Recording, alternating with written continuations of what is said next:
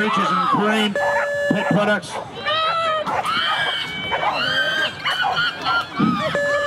And oh no, what's happened over here? We got a uh, flag up in the black lane for the Rockets, and that might put them to the sword.